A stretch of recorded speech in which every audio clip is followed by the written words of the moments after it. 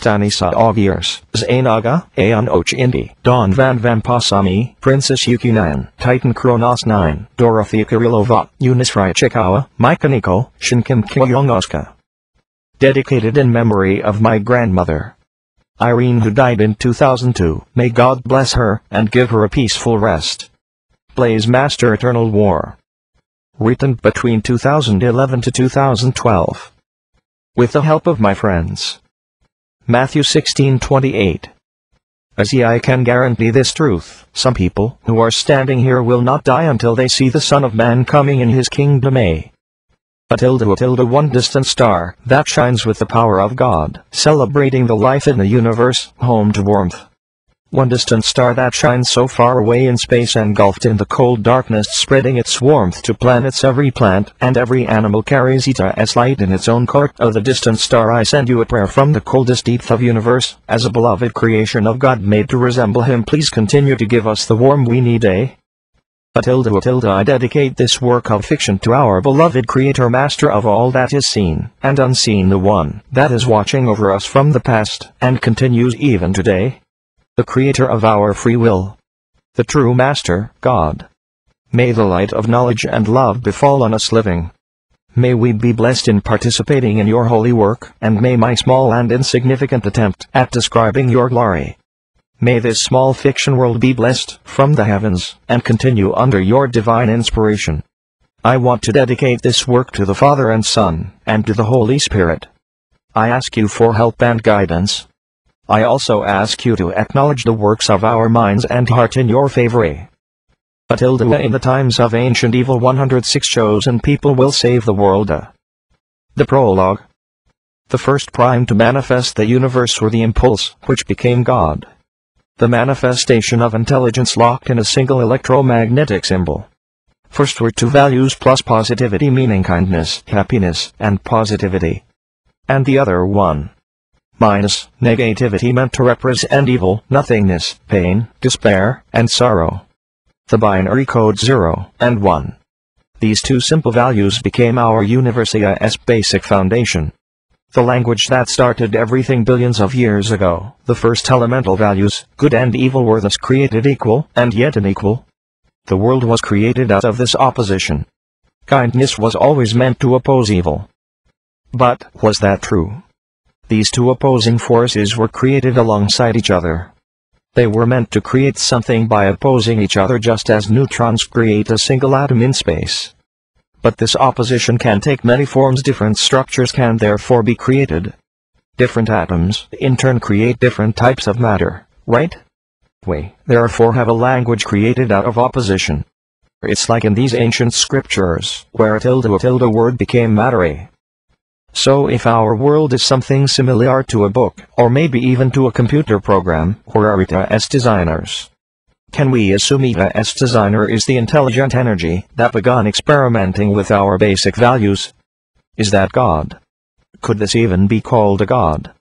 So let's begin once more. Who or what is God? Originally in ancient societies, God was portrayed as an ancient patriarchal figure, in the same manner as leaders are presented. God was actually considered to be a very powerful leader. A leader in every aspect, a religious leader like a high priest, and at the same time, as a king. The term of God is in fact similar in meaning to both these figures, because God is considered to be both the high priest and a very benevolent king. But is this portrait of God true? Yes and no, because it was what we could call popular demand. This kind of God figure was created to keep up with the illusion, or background of a dream, like game world we all live in, and then again the true God is nothing like we expect him to be, it is the creator of all forms, despite not having a form for itself not requiring any to exist. But the ancient minds of people needed clear forms, that they could understand, and categorize this mighty creator deserved to be celebrated, worshipped, praised and used for gains of these that didn't possess such might. Therefore religion was created mixing knowledge based on observation with lies and doctrinology, creating first societies that were based on beliefs that its leaders were the sons of gods destined to govern humanity, which eventually introduces another item of worship. It has the symbol of greed and selfishness, money, Divisions were created by the possession of this item and society was leagued into its illusions, and away from the real God. Eventually all of these things became more mixed and twisted, and were lead to our current state of affair. Despite these lies and deceptions, the truth has not completely disappeared. These are locked in ancient scriptures ready to enlighten all those who dare to seek it. The old ancient prophets directed by the light helped to create the foundation of our divine world, despite the darkness and ignorance appearing to control everything it has on Ita's hands. The light taught us to love and inspired to seek out the truth about our world. The same light that didn't disappear at all just hiding between the darkness that spread and engulfed by our highly advanced world. This knowledge is presented to you as a tiny fragment, but it has Ita's own unique role to play in the events that were yet to come. Come. Our story begun in the dark chapel place inside some structure. The chapel itself was full of dark aura and violet energy mist was flowing in the air creating a buzzing energy sound that filled the area. It was very dark and gloomy a truly mysterious, and perhaps terrifying place. Without no life the first thing that really would catch anyone's attention would be grey ancient columns that went upwards. These columns were inscripted in ancient hieroglyphic language spells that were cast upon this temple to make it unnoticeable to the dark gods, God, and any other beings that could detect any paranormal activity. The environment was stable not a single wind blow. In the darkness near the columns green sacrificial fires were burning producing the violet smokes. These fires stood on strange pot, like constructions locked in by energy barriers that hold the fire and its contents, while releasing a violet smoke which was a key component in the magical barriers that were used to hide this magical shrine. The columns were lightened up as different hieroglyphs were lighted in different color and magical interface that told its users that their secret was being safe. The floor of this chapel was dark marble, and the columns gray. Sacrificial fireplaces were set in the asymmetrical manner, while in the middle a red road was created, as the floor was lighted up by a powerful red light that acted like a red carpet. The shrine had an interesting oddity to it, as in the skies you could see entire galaxies, red, blue yellow, and in different other colors.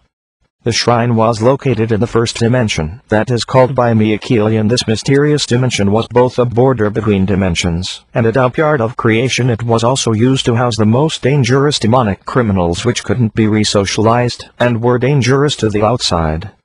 This dimension was God's safety measure, to keep all dangerous ideas out of the material world, to store energy, and to give birth to different dimensions created by single ideas. It is funny how people belittle their imagination not being able to understand how a single thought might influence entire galaxies, the dimension which most visit only in their dream state, to throw away all their thoughts which they produce during their normal activity, like a field that was always filled with seeds, that were human and demonic thoughts the power of their minds. This place could materialize every thought, and therefore every even unrealistic structure could materialize and that's how this dark chapel was created the chapel where the entire story begun, a continuation of the battle I fought 75 years ago. The story which I thought was already over, was now to continue. The carpet was shining red, as a young boy was walking in it walking to his destination. The young boy stood on the gigantic rim that bordered the glass windows, their size as if crafted from clear consideration for gods. As the silhouette turned and walked alongside them, its shadow paced the brilliant red carpet. He stopped and crouched down, his shadow a prying creature now, the boy's eyes locked to the ground. His blond hair shrieking out from under the thin cloth for his hood. Those who have viewed from the top will never forget the view he echoed. Though it was a whisper but it succeeded in haunting every brick of the chapel. His eyes sparkled, Dietrich was getting restless. The dark shadow birds passed him, as he made his way to what obviously appeared to be a throne room the entire place was filled with the violet smoke that carried red energy lightings which in some weird manner greeted with Dietrich as he walked to his destination mumbling something to himself he was awaited, and his restlessness came from the fact he was raying. The dark shadow birds looked at the boy with their red shiny eyes growling terrifyingly this was a very ominous place omnious the thought only made him chuckle. From somewhere inside him a hollow voice was screaming unfathomable things to him, more, I want more. He narrowed his eyes absent-mindedly, and a black raven croaked out in alert. He sighed. He felt his strength increasing with time, and he liked it. He looked at the blue stone on his ring. No, he loved it. After being sick for such a long time, who knew this would be it? What a foolish world he told merrily to the perplexing bird. Then he made his way. In front of him golden stairs going above to a dark marble throne, and this figure sitting on it looking like a handsome dark-haired man. Sitting in the same manner as if he was the Messiah fabled savior of ancient worlds. However this holly appearance was deceitful, as the nature of this being that sat on the throne this man, that looked into the distance dressed in black robes with belts crafted out of energy, who gazed upon the boy walking over on the golden stairs smiling gently as his favorite puppet made his way towards him, as you finally came Midas Kipling he decided to speak with a calm dark-toned voice deceitfully making the boy feel comfortable while in reality he held nothing but mere contempt to the creatures of the lower worlds. But this puppet could be useful, and probably it was the main reason he bared its presence the boy knew nothing about evil ambitions of the Dark God. Before him the Dark God was the master of destruction a crowned archangel, whose influence reached the far reaches of known universe. Feared by many his dreadful ambitions scared all creation the entire chapel sung its strange song glorifying the evil master, and this spiritual song was heard everywhere in every brick and in every part of the matter adding to the metaphysical experience of this destructive place. The shrine which was engulfed in darkness Galemouth's prison, and main base of operations his only known home was this darkness that was created from depths of his own hearth. The chapel itself was like a dark prayer for destruction, like a desperate plea to end all creation. Why would one want to be destroyed?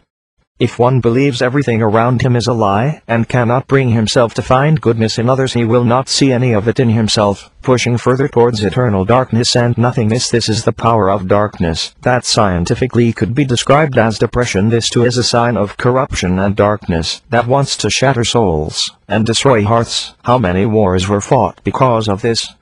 How many wars were to begun because of this? Dietrich felt his own version of serenity as he approached the majestical dark figure. His base had increased once he left the golden stairs, let's get this over with. He was fed up with this old-fashioned door he met with. A smile played at his lips as he felt the unknown force push him down, crushing him to a bow. Uh, clever. Very clever. He loved the way Galemouth played God. Once he had fancied the idea himself of Galemouth as his own personal god.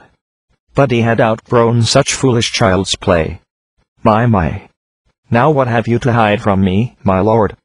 The next instant his cocky smile was replaced by a groan, his grey eyes to a fiery color. His heart bore malicious lust and his mind was in nightmarish pursuits, as Dietrich clenched his teeth, his face hidden by the blunt curtain his hair made. Galemouth, indeed very clever. Dietrich hoped he was hearing his thoughts, because he had nothing to hide. He couldn't care less if Galemouth smashed his muscles and splintered his bones. Dietrich would meet Galemouth's eyes, even if he was greeted by void. He leaned on the pressure biting his lip and tasting his own blood. What have you to hide? Was I not made to be perfect? Dietrich screamed in his head. He was shaking all over. Greet my gaze master. Grant me that one wish quit the show and let me be. Galemouth looked at his puppet sliding his fingers on the brown wooden ornaments of his throne his eyes greeted with Dietrich eyes as the boy stood on the dark marble floor on top of the golden stairs and in front of the red throne Galemouth was sitting on a small smirk came on Galemouth's face while he was amused by the boy's thoughts. A ZTHERE isn't a single thing worth of being perfect in my eyes, as everything is a deceptful illusion, nothing more than lies created to torment the weak-minded fools.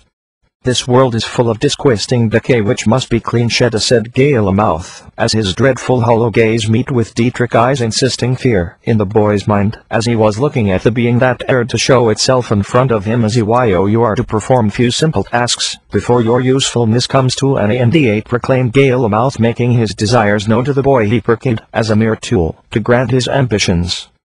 He looked at the boy's reaction feeling a bit fearful and detestful just as if he was reliving something painful. Tarnished by violent emotions created by the darkness inside him, he held himself in one place not allowing his anger to drag him into lower pits of true hell he unknowingly created for himself. Green energy lightened the marbles the boy was standing on making magical symbols show themselves. These symbols told a dreadful ancient story of an old sorcerer that found out the most mysterious knowledge of the universe, and, because he knew the truth this made him detest these that didn't know it making his pride hate all of existence. Dietrich started chuckling, his eyes were drooping. He might as well be intoxicated by the situation. Finally, the coward is out of his shell his thoughts were fairly frank.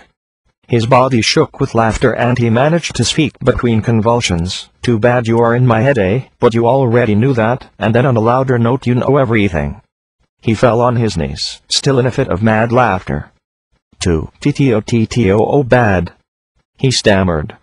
Galemouth looked at the boy being intoxicated with Dietrich's fear and feeling more amused by the darkness that befallen this once cheerful child. Galemouth once again lifted his gaze towards the boy. I see I know of your failures, do not fail me again, gather the chosen children it's time, to grant their destiny, man you are to make contact with Dark Master inform him the time has come to enact the procedure Galemouth raised his hand calling the red energy, toward him making it gather towards the stairs, and Angbulf then forcing him to push it back, as it formed whirlpools which then materialized into some glass eclipse containers. As observe, these are the holy spiritual containers for the darkness you create with these fold we will start the anti-god spell which will nullify all of creation do well my disciple, and your nightmares will dissipate Galemouth proclaimed showing him parts of his plan making sure he will describe everything to Dark Master, and follow through with Galemouth's ambitions. Dietrich nodded with a detestable grin. Your wish is my command, Master. He closed his eyes and willingly bowed his head to the ground his forehead wet from perspiration. When he looked up, the glass containers were still there, and the nightmare goes on icy. With the whip of his hand he had them all under his cloak. Then he turned his back to the throne ready to leave. He savored at least this power, for many of Galemouth's slaves weren't even allowed that. He lightly assailed towards the golden stairs. What a boring day, he thought to himself, before disappearing completely. Galemouth got annoyed by his servant's behavior growling angrily, and then calming down looking at the blue glass containers that were floating above the stairs, moving his hand golden energy flown circling into rents creating a huge golden cloud as red energy lighting started creating shocks and magical dissolutions that slowly shaped a clear image which shone deep space and the futuristic metropolis we all knew as mega civilization. Galemouth observed a certain tube-like futuristic massive skyscraper which was built out of silver metal, and it itself looked very modern. Red lights sparkled on the top of its rooftop, as many spaceships were going towards it and out of it on numerous levels, landing on the rooftops, and entering the building gates which were opening for each individual spaceship that entered or leave the complex.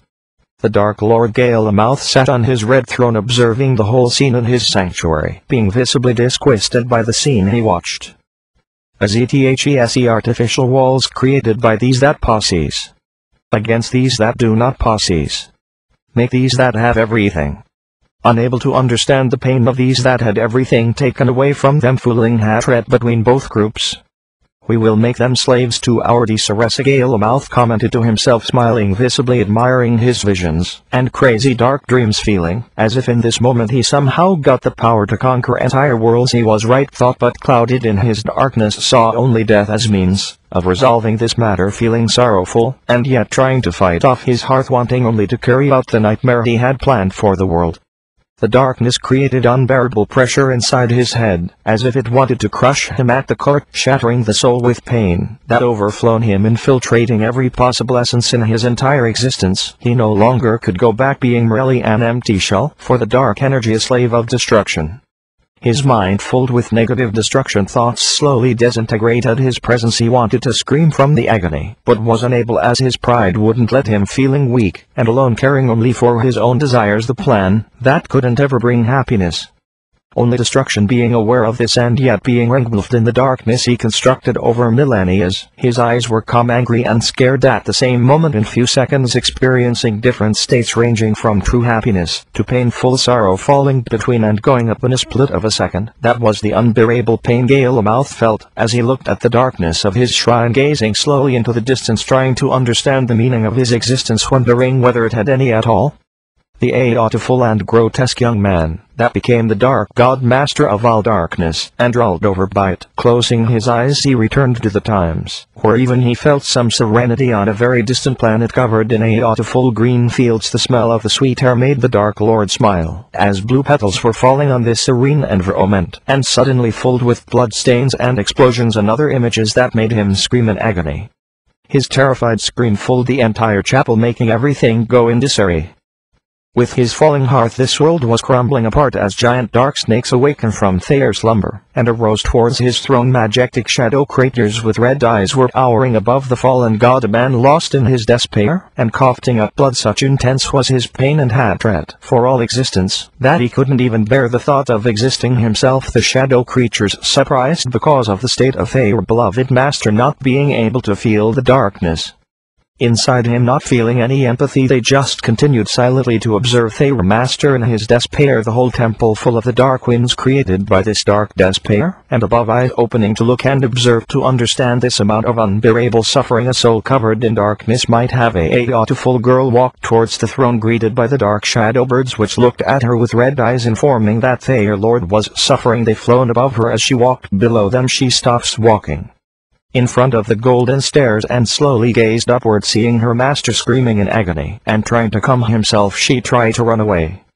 But the dark shadow birds not let her go. Gale-a-Mouth looked at the scene breathing calmly while the girl kneeled down afraid, moving his hand he made the dark birds fly away from the girl. As come closer Childa he proclaimed breathing calmly slowly gazing below the golden stairs looking at the girl dressed in blue dress with white boots she slowly walked up to the throne. Gale-a-Mouth said to her will you be baptized for me? Looking at her with his dark eyes as the snakes arose surprised near the girl looking at her from below with their red eyes the girl walked back baptized? She asked surprised wondering what the Dark Lord meant by this phrase faithfully looking into his eyes meeting only darkness inside him as he stood up and slowly walked down to the girl. You can have a power to change the world he quickly added as he was coming to her and gently kneeled down looking at her surprised smiling pretending he cared about her trying to make himself look warmer, trustable. Change the world? The girl spoke looking into his eyes feeling a bit confused shocked by his sudden proposition as the snakes around them looked with disbelief wondering why would the Dark Lord propose such a thing to something so inferior as a little 15-year-old girl with blonde hair, Yet, the power to stop tragedies, to save Lithia said Gale-a-Mouth touching her cheeks, and looking at the girl smiling making sure she was calm and ready to obey every single word he told her. Nearing very closely, and standing up waving his hand creating whirlpools of golden energy, as powerful dark winds started to blow again, the shrine's pillars and columns were filled with green hieroglyphic signs warning about the dark spell that was about to be created dark red pentagrams appeared as the girl stood up looking around scared power? She asked hesitantly a bit shocked because of the dark manifestations that took place scaring the girl a bit, but she was calmed by Gale-a-Mouth, who gently patted her on the arm relieving all stress from her body, as if flown away as dark smoke calming her instantly, and making the dark birds, that sat on the columns, and observed the whole ritual fly into the air eating the dark smoke, as it was grain, and flying in circles squelching hoping the Dark Lord would kill the girl for them to eat her, but he had other plans, as he looked directly into her eyes. You can kill the one who killed your sister. Will you accept this power?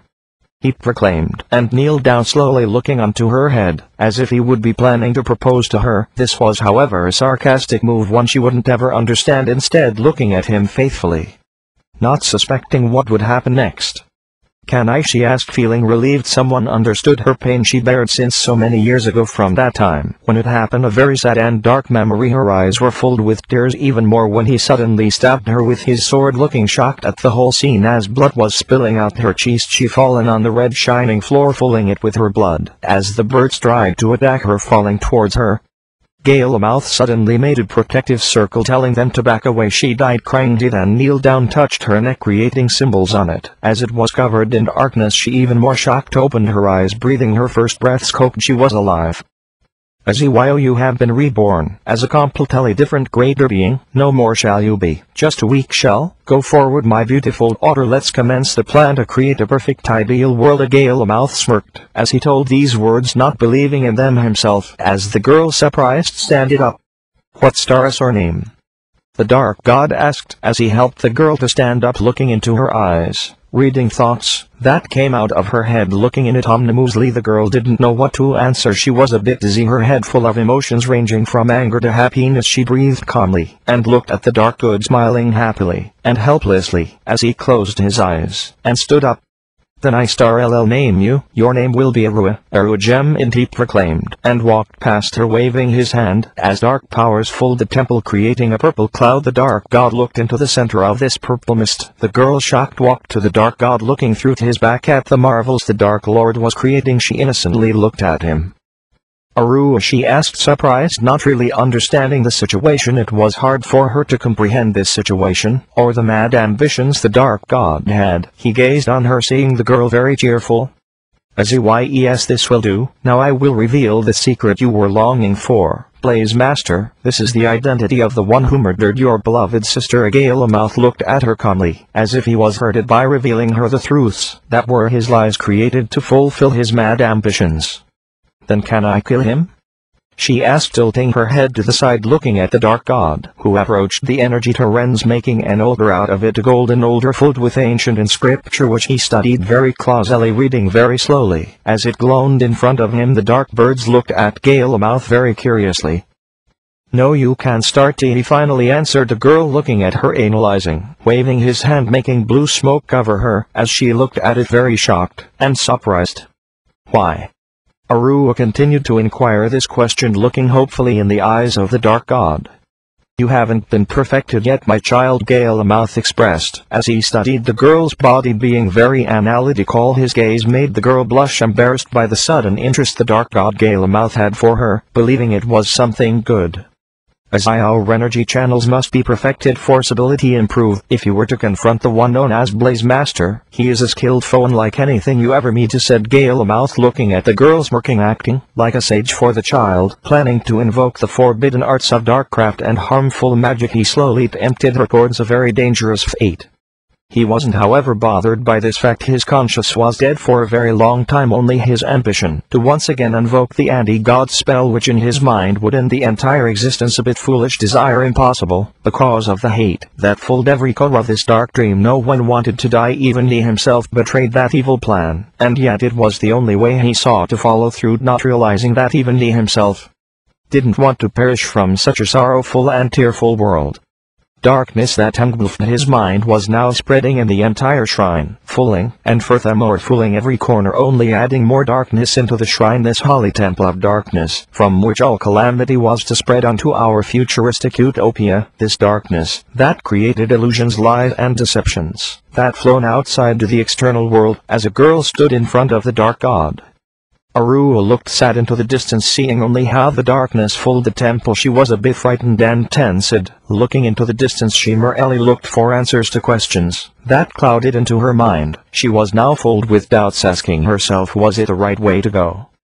Somewhere in her heart she knew what was the real purpose the dark god had. She knew it was something very evil and terrible just like Dietrich, before she too detested such visions. But she also felt an unbearable pain of losing someone that she loved. This nightmare was terrible, and he the one that standed in front of her bared the prospect of ending this terrible pain. But she tried to hide her feeling in front of Galemouth thought the Angel of Darkness knew them. He could read them, and planned to use them to his advantage. After all darkness was an useful fuel, to make everyone hate each other, and the world they live in that was his goal. After all, as sadness makes you have an unbearable expression he finally commented smirking and looking into Or's eyes, savoring the darkness and thorns in her soul. They really were delicious to him, as if it were some kind of delicacies. The dark god planned to consume he walked over to the girl kneeling down looking straightly face to face making Arua surprised. Sorry she said very sadly lowering her head in obedience, understanding that he was her master, and she was merely his servant. Roles, that shouldn't be questioned. Her purpose was simple, to obey every command the Dark God would have. Nothing else no discussion quite simple, if you waste some time, to think about it. That's okay my child.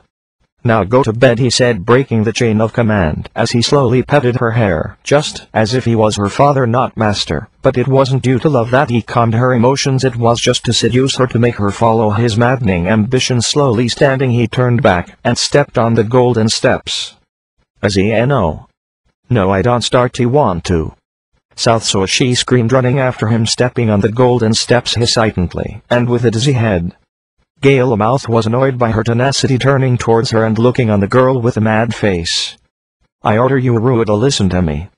He yelled at her restoring his chain of command standing, and looking angrily, but also a bit intrigued at the girl. It was the first time he saw something of this nature this power. He again started to fear his servant seeing something he couldn't understand. Galemouth feared things he couldn't understand. Azinoa she screamed as she was feeling dizzy and weaking in his eyes. This in turn calmed him making him understand. As the girl collapsed he rushed to save her, not fully understanding why he did that. Was it compassion? No he detested all things yet he held her firmly and gently looked unto her.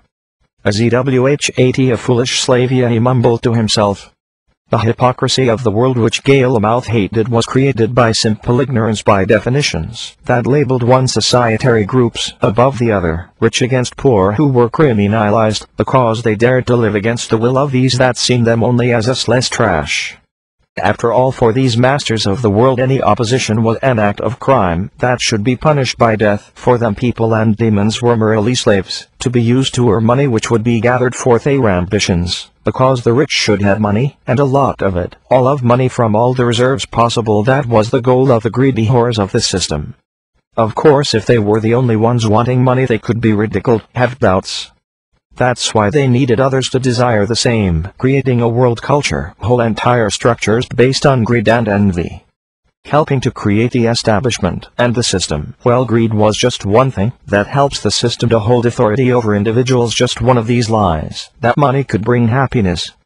Envy and greed, lust or even obsession with everything the material world had to offer and being restrained for that in the name of morality customs, or even laws, that had nothing to do with justice poor however described as outcasts by them have always been restrained or even tied up unable to do anything, because no one really wanted to help them. They became a bother to these rich majorities, who created the oppressive regimes, which rallied billions, in the name of hate-making soldiers not care whom they kill as long as they're paid. After all there's nothing wrong in killing terrorists or criminals they want to destroy your sanct way of living our world built from illusions and hate people and demons treat each other as enemies even if they're from the same social group, still forced to compete for money destroying each other's, in the name of illusions created by the rich.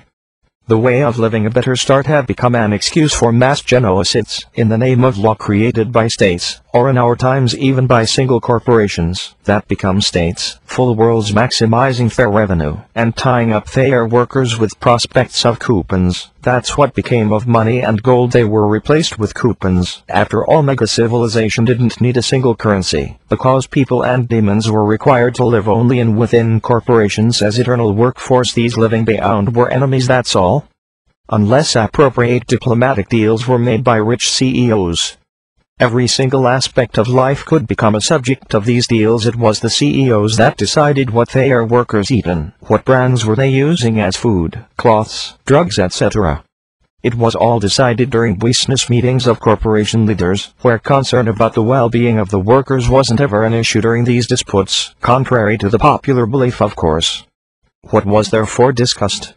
Who and how can get more money? The rich divided the society, as if it was some kind of cake deciding who should be accepted, who should be ignored, and who should be eliminated. That was the main purpose of their existence.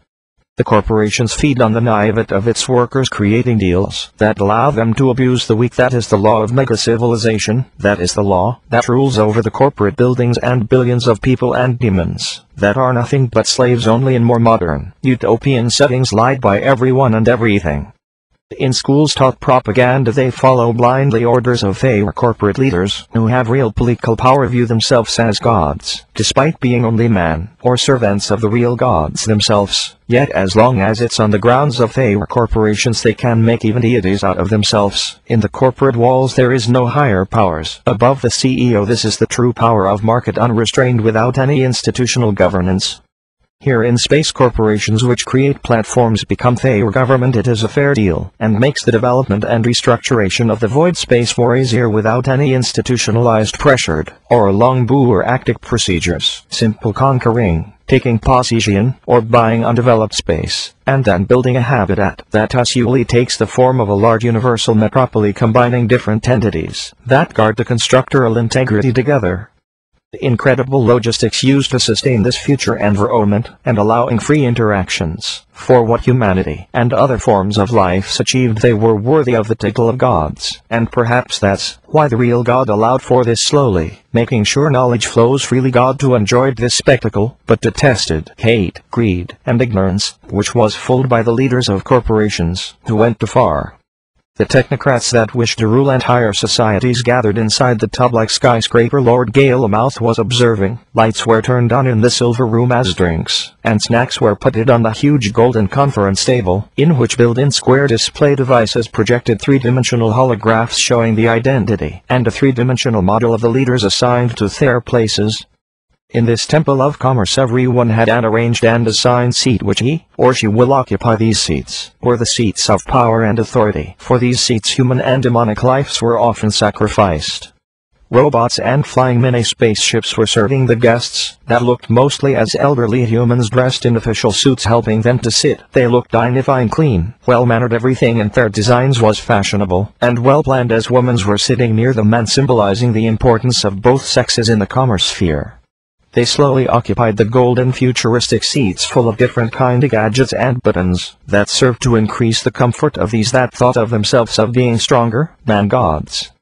A crowd of people filled the huge room gathering, and sitting in front of the table, below in class, like futuristic benches, that were full of many built-in computers these enormous crowd of woman and man was the representation of the universe as media corporations, because every major TV or radio station, or even blogs, and other forms of propaganda sent in their newscaster, who wear colorful futuristic costumes making them more interesting than the clean businessman and woman, that wear only arranged fashion.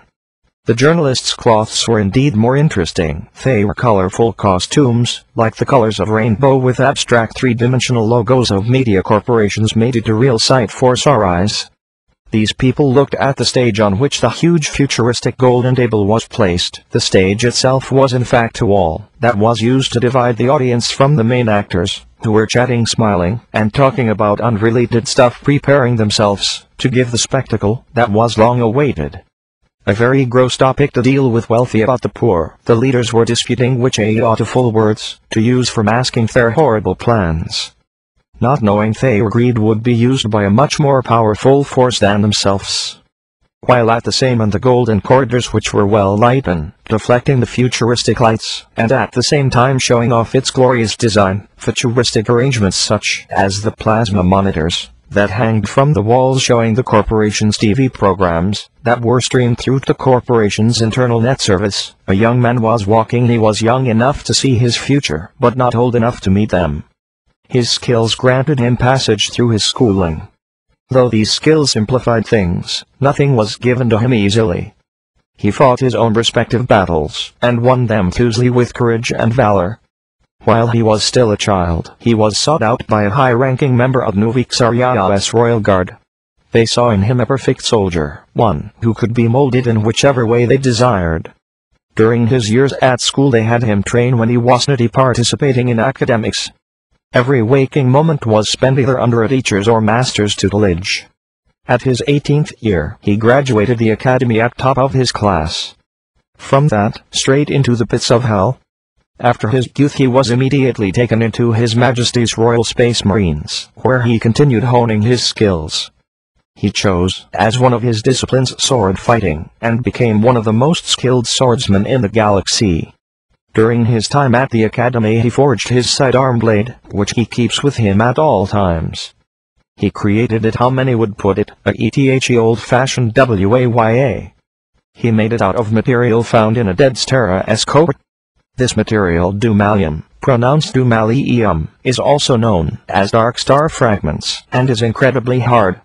He himself forged it, folding it over again and again until he saw it fit to be finely shaped.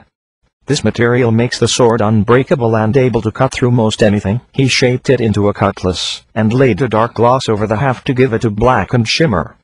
He trained after the late Master Jurati who died while the academy was under attack from the enemy.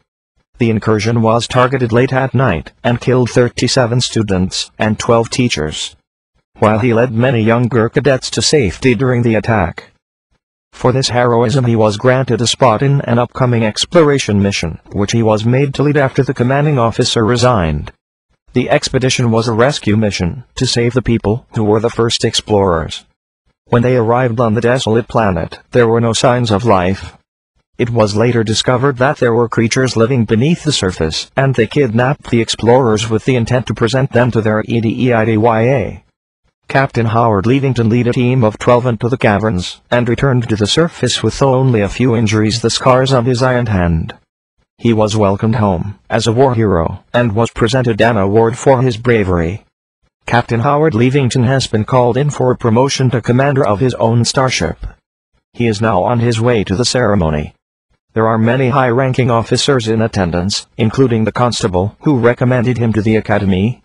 He walks into the room and no one notices him until he bumps into a person while walking from the back to the front of the room. The gruff general, a man with a thick mustache and eyebrows, but no other hair on his head, turned to yell at the person who bumped him, but realized who it was. AOH boy, look what's here he exclaimed to the crowd, and they all stopped, and turned to meet his gaze. All at once the crowd begins cheering, and shouting. The captain smiles at the crowd and a booming voice calls out over the loudspeaker all right, all right. Let us calm down now the MC soothes the crowd, as the captain heads for the stage. AGOOD evening. First off, I would like to thank all of you for coming. I know many of you have left while UA reposts early in the morning, and will have to return, but in due time. We're here to award this mana he turns to our hero, and points at THIS man, has done things that many of you wouldn't attend. Has gone places some of you have never imagined, been heroic at times where heroism would have ee gotten him killed? This man deserves much more than we can give him. He has earned this so the MC opens a small box with the Captain's new rank star come forth. I imbue you with your new stature star he places the rank on the Captain's shoulder. The man that suddenly entered the stage had gathered applauses from all that were present, business people that watched the presentation, and the reporters who frantically pressed the buttons on their consoles, sending their broadcasts into the far reaches of the universe. This man despite being young was one of the bravest soldiers in the known universe, and still despite that the greedy servants of the system planned to use him as a pawn in their games the old man dressed in a wonderful golden tuxedo, and an old-style gentleman's hat, with visible computer attachment, as the suit was just merely stylized to look as an old-style gentleman's costume, yet containing all the latest gadgets these kind wardrobe posses, standed and enthusiastically clapped. Van coughing up a bit to demand some silence.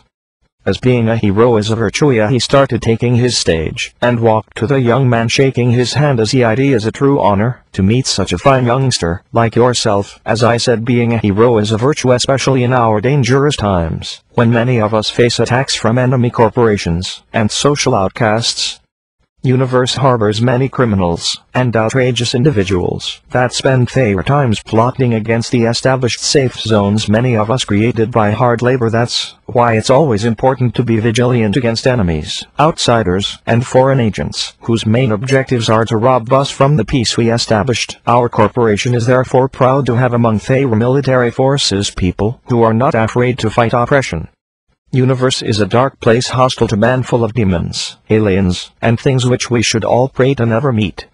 It is in my opinion that universe isn't a place that should be inhabited by man, representing the voice that unfortunately sounds loudly very late. Therefore it is our duty to recreate what we once destroyed.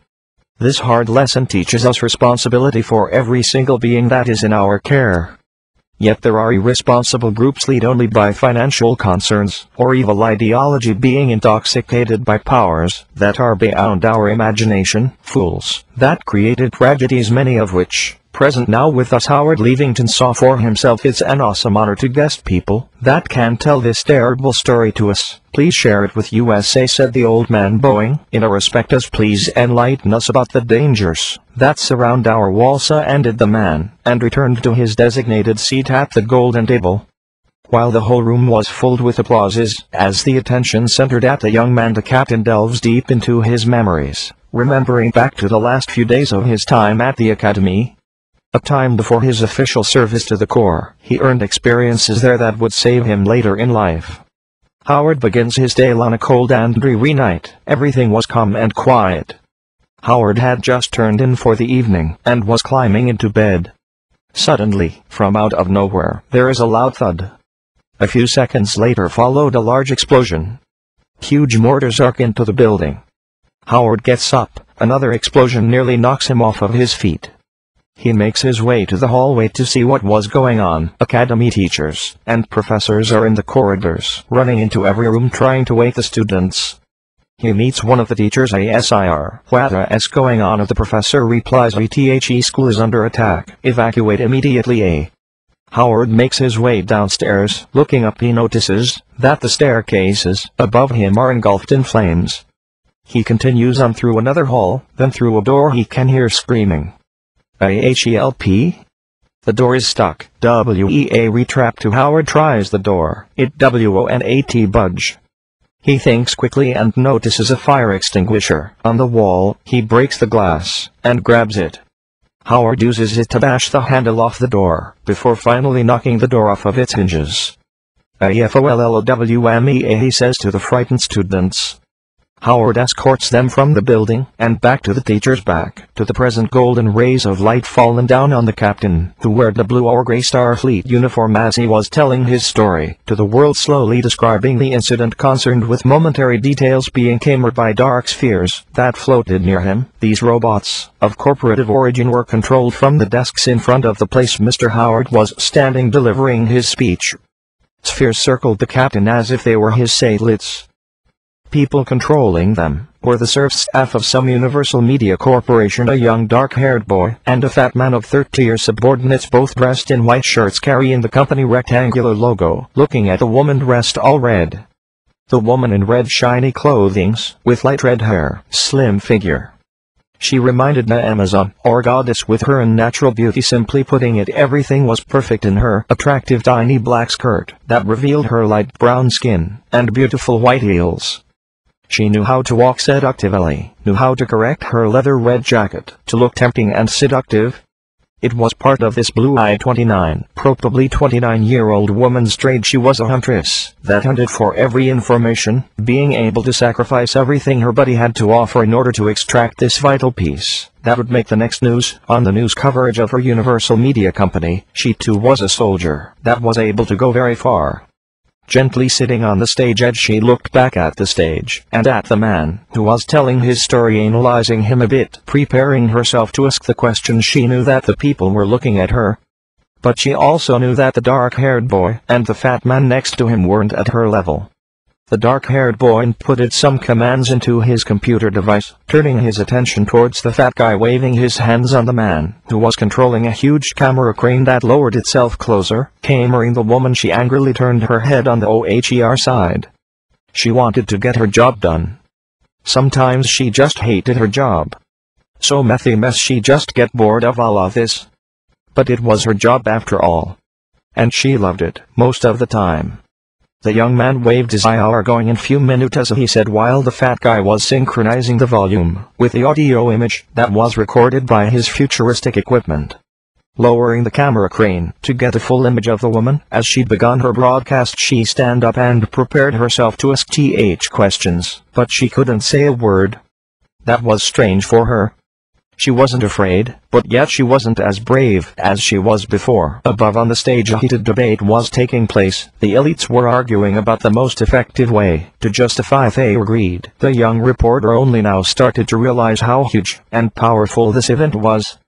How small and shallow were the minds of these that were supposed to rule entire galaxies? These men and women of welfare were acting like children. Now she was supposed to ask the question, but only the questions that were scripted for her to be asked. No questions that would be important. She had a script and a role to play and this was what frightened her. She began to bite her lips wondering WGAT to do now. She had no idea. So many thoughts were running through her mind, and she was scared and confused. If she asked the wrong question, she will be fired for sure. But what was the right question? As what the fuck you're doing get out there the dark-haired man yelled at the woman, seeing her troubled almost praying she would already start the broadcast, as precious time was moving forward, yes? In this temple of greed even time had a price, and the woman was supposed to act in the right way in this time, for which she would be paid by the media company. As EITS your first day on the job don't scream he whispered silently to her hoping to motivate the woman to do her job she started looking around her with a scared and puzzled look. Why I am so nervous. Oh god I don't want to be here. What am I thinking I have to focus? I want to disappear she thought. The young man walked over to her and patted her back. As what's up you know what to do right the dark-haired man asked while giving signs to the fat guy that operated the camera as EITS a big deal. We gotta do it, or the boss will kill us. It's your chance to Shania the man added looking at her and walking back to his friend. As he a are we gonna do it, or not? To the fat guy asked as just give the girl her Timmy the young man replied. The man shown her signs and turned on the camera as I'll run he yelled and expected the girl to perform well. I, I can't do it. I have no idea what is going on with me. I have never felt that way before. I'm so sorry but I need a moment she said, and ran away crying. The fat guy turned off the camera and sighed almost weeping as the young guy angrily kicked the camera as we're so dead he looked at his friend, sitting down and taking out a cigarette, walking over to his friend and sharing the cigarette with him, lighting up himself and for his buddy as he I could have had my ex into this, fuck he screamed she goes to the other end of the room crying he'll die I'll surely IEA she cried, her fear being incredible. She felt as if she was entering a cave full of terrible monsters. And she was right, these weren't humans, or even demons. These greedy humanoidal creatures were worser than anything hell could produce. She breathed hardly, not feeling alright I think, I think, I will. She started crying again. The tears were falling from her face ruining her makeup. She slowly pushed her head to the side as she started vomiting from stress, making the medical team come closer to her. A very young golden-haired boy dressed in futuristic white cloths accompanied with two girls, one green-haired the other pink-haired, dressed in quite fashionable medical uniforms came closer to the young journalist as he are you alright miss the young doctor calmly asked. I don't know I have never felt it she cried. The young doctor walked closer, kneeling down and attached a white cylindrical mini-computer device that shone strange symbols and played a calm song. He took the device away and read a report that was shown on its screen as EIT appears to be stress miss the young doctor calmly replied, smiling to her childishly, as he was just 10 years old, only an apprentice, under another doctor, practicing to become the best doctor in the entire corporation. The boy was excited, because it was his first serious medical mission but I had never been nervous, before. What's wrong with me she cried louder. Tears started to fall down her cheeks again.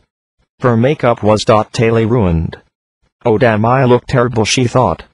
The boy smiled calmly and slowly stood up as he but it's alright you see most people get nervous when they work too hard and it causes serious medical problems. That can be cured after calming down the boy smiled as his blue eyes shine in excitement while he himself was being observed by a dark bearded man who was the doctor. That teached this new apprentice the room was covered in golden lights, as other crews were working very tentaclously, covering this event. The girl looked at them crying feeling so humiliated. She was humiliated feeling so weak, not being able to do anything unlike the boy. She herself didn't have the courage to face the challenge ahead. She was very terrified of this pressure, now feeling abandoned wondering what she will do if she gets fired for her it wasn't just a matter of a job. She was raised to become a journalist being raised by the media company in its facilities. If she couldn't do her job, what other reason would be there for coming back for living?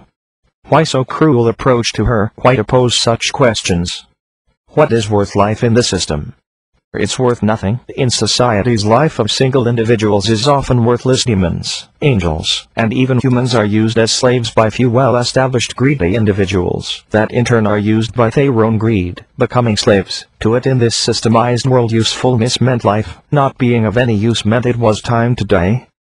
For why would the system and the established order care for anyone that cannot be made profit from, be in debt stay clones, buy, spend go to work, earn money, and pay. That is the role of everyone inside the system. Nothing else matters. It's a sad reality. Greed and lust ruled everything, and took away passion, dreams, and even love making it forbidden, not responsible, shameful behavior, true feelings were made to be disgusted as greed and lust were glorified taking their place. She was a female journalist, Raised in that manner by the almighty corporation, she didn't have any relatives, any family just her corporation, friends at work, in that job, she failed everyone, because she started to have feelings, and was not comfortable with it, because of the shock, seeing these mighty, she realized how weak she was, how worthless her existence was. The girl wanted to scream in horror, but couldn't.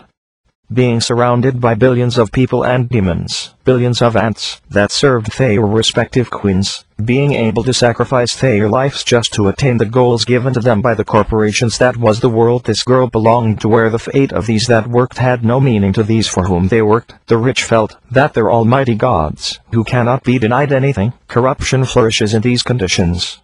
Injustice prevails in the worlds ruled by the system. Lies and deceptions were used to bind and oppress souls like chains, that were morally created for that purpose, and added thorns to tear into their hearts making them bleed. This created more pain, that slowly gathered, as they were unaware that it happened that they were consumed from the inside, the things they believed were to nourish them actually slowly, and gradually consumed them. This disastrous force was created by the lower instincts, fueled by greed and lust system oppressed everybody in that room, but only that girl, that journalist she alone was starting to understand this, how unpleasant it was, this was good for it marked the beginning of her salvation. These feelings of sorrow and sadness were God's gift to her, to allow her emotions, to manifest, to free her from these shackles, and allow to escape. She knew it finally. She was to run away try to leave this corporation world leave it all, and seek freedom, a world that is better, true paradise, that was hidden deep below, in the structures where outcasts live and thrive. To escape to the world she knew nothing about, to a place that at first glance looks like hell, being unfriendly without luxuries, abandoned, or dirty, where only criminals and terrorists hide from the reaches of law, this was how these that opposed the system and its greed were portrayed by these monsters that thought they rule all, this is how I was viewed, because I dared to speak against the wishes of the rich. You either become an important, or a terrorist. That's how this minority pretends to be a majority in the world that ain't welcoming even for them this reality that was created because of it couldn't last forever and yet appeared to be very stable. This too was merely an illusion created in order to enslave living beings as long as it was possible. Besides even if it fall in another place, like this would only take its place. That's how it was, this was how it would be unless a miracle would happen but even a miracle doesn't last forever. This ain't place is a paradise might be born. One must go into a journey to find it but every journey needs courage and has its own dangers. It's not safe to travel, that's how it was always. The young journalist knew someone that loved to travel. He was her mentor one of the best journalists of his time. She was thinking about the past years with him. They were the best in her life. She remembered every single time he helped her. Rest in peace. I will never forget you. She thought. The girl remembered this special person. He was just an ordinary man, one of these classical professionalists that done this job because of his passion. She remembered the old brown trench coat I must pick up myself. I'm not a crybaby. I loved him but I can't change the fate she thought. She slowly stood up cleaning herself up taking out a golden mirror from the pink arm back, gently correcting her makeup, trying to smile, correcting her lips with her devilishly red lipstick now in red e she said breathing hardly looking around and observing how other crews handled the job, she saw how the dark-haired man was frustrated, and she decided to move in order to save her career. The people in the room were busy moving from one place to another, as on the stage the main event was being played out. She finally understood that she needed to go out on that battlefield to fight this media war, for such was her fate. This was the existence she was born into. The girl, or more exactly the woman matured in an instant, but was she up to that challenge? Meanwhile another hero of this parade was decorated by the corporate CEO, standing proudly on the stage being welcomed by cheers and flashes, the handsome young dark-haired boy dressed in a red space suit, with white boots, sparkly eyes. John was a normal teen, who joined the army, now once he get out he realized that the world he used to know does not exist anymore.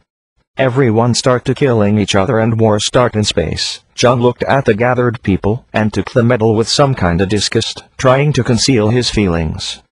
He standed on the golden floor being cheered by the corporation's managers that represented the world of greed, the cause of these wars and suffering. He came closer to the classical design microphone and started speaking, but before he could do so a fat chubby CEO standed up and begun his speech as EW all have witnessed the hostilities of the outside group. The man has started, looking at the gathered crowd, and then turning his attention to his comrade, a young-looking woman with golden hair, dressed in red or pink corporate suit, who only closed her silver eyes, encouraging the chubby CEO to speak as EW all have seen it.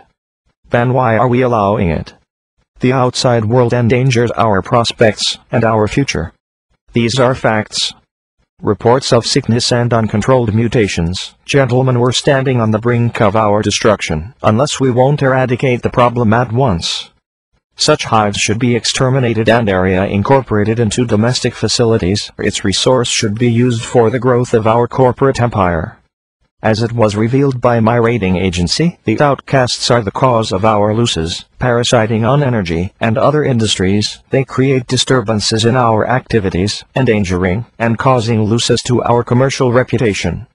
These in turn produce defective results in our morality, enabling defective tendencies to spread the so-called world that borders with our facilities consists of ruined platform projects and criminal facilities that lost their economic value long ago. Therefore it was suggested by the group of commercial analysts to undergo with a revitalization program, removing the danger and sustaining growth. Let me make clear, outcasts are not a nation or even a rebel fraction, as they themselves claim to be. They are a mixture of defective and renegade criminal operations that are not controlled by any jurisdiction. We cannot allow this. These tendencies are the causes of wars. Then we shall wage a preventive war. We assume that the outcasts will effectively disappear after the conclusion of our military operations in the area. We plan to revitalize the area and to incorporate its structures under our jurisdiction. explained the chubby CEO getting applauses from all fractions and the crowd of this greedy corporate agglomeration. The corporation planned to take over the platforms to expand eliminating these that lived there, or just happened to travel through them. The outcasts in this case were everybody who didn't belong to the corporation that was representing the system in our case but this also categorized these that were exiled or choose to leave the corporation to try and live a better life. Now all these livelihoods were targeted because they were poorer than the ones ruling the corporations. Everything that was different from the main establishment was now being targeted because of their difference, because of a simple fact of not being categorized. System never wishes to acknowledge things that are too different from their greed-based ideology pretending the other side does not exist, or portraying it in a very negative manner. If it can it tries to exterminate freedom in all forms, because system is in fact a tyranny, a tyranny of richty.